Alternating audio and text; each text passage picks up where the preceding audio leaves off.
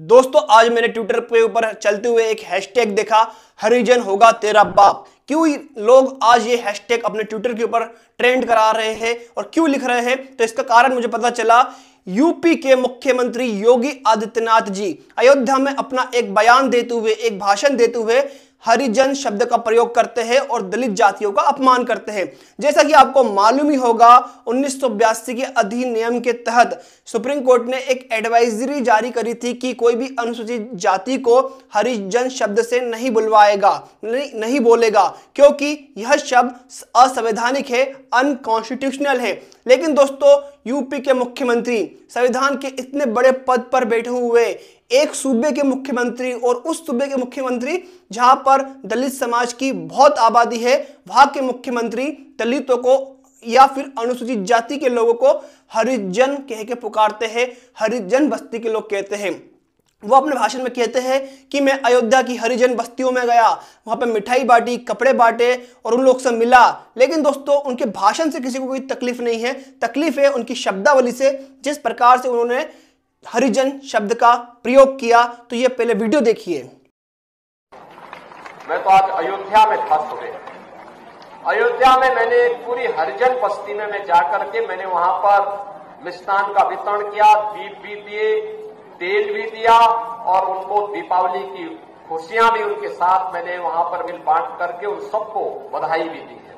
और मैं आपसे भी आग्रह करूँगा, प्रदेशवासियों से भी कहूँगा, हर गरीब के घर में कि दीपोत्सव का दीप जलना चाहिए, क्योंकि रामलला 500 वर्षों के बाद अपने धाम में फिर विराजमान हुए हैं। इस अवसर पर आप दोस्तों, हरिजन शब्द का जिस प्रकार से योगी आदित्यनाथ ने प्रयोग किया, इसको लेकर दलित समाज बहुत ज़्यादा गुस्से में है और सभी लोग अपनी भड़ास, अपना गुस्सा सोशल मीडिया के ऊपर निकाल रहे हैं और योगी आदित्यनाथ के खिलाफ लिख रहे हैं कि उन्होंने किस प्रकार से दलित जातियों का अनुसूचित वर्ग का अपमान किया है हरिजन बोलकर।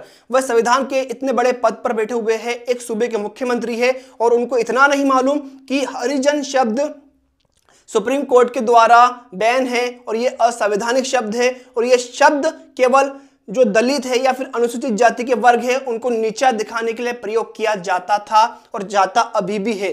जो लोग हरिजन शब्द का प्रयोग करते हैं उनका धुतकारने का ही हाँ, हमारे लिए सेंस होता है। और दोस्तों, आपको बता दूँ, बहन जी इस मामले में बहुत स्पष्ट रहती है। वो कहती है, जो भी व्यक्ति हमें हरिजन बोलता है, क्या अगर हम हरि के जन हैं, यानी कि भगवान के जन हैं तो सामने वाला क्या शैतान की औलाद है? शैतान का जन है, असुर की औलाद है। अगर हम भगवान के लोग हैं तो वो सामने वाला क्या असुर के लोग हैं? वही दोस्तों, चंद्रशेखर आज़ाद ने भी एक बहुत बड़ा लेख लिखा है इसके लिए अपने ट्विटर के ऊपर।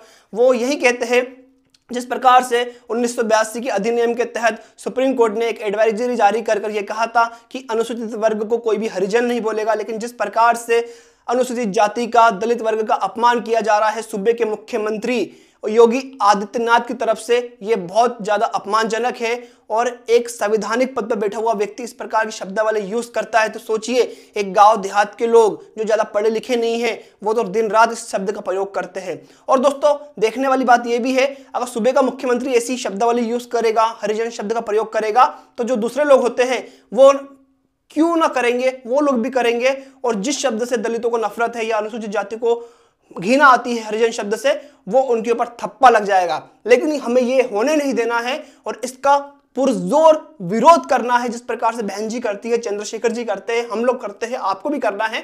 और अपने कमेंट बॉक्स में जाकर अप, अपने शब्द लिखने हैं योगी आदित्यनाथ जी के लिए। और यह भी लिखना है कि हरिजन शब्द आप स्वीकार करोगे या नहीं करोगे कमेंट करके बताइए।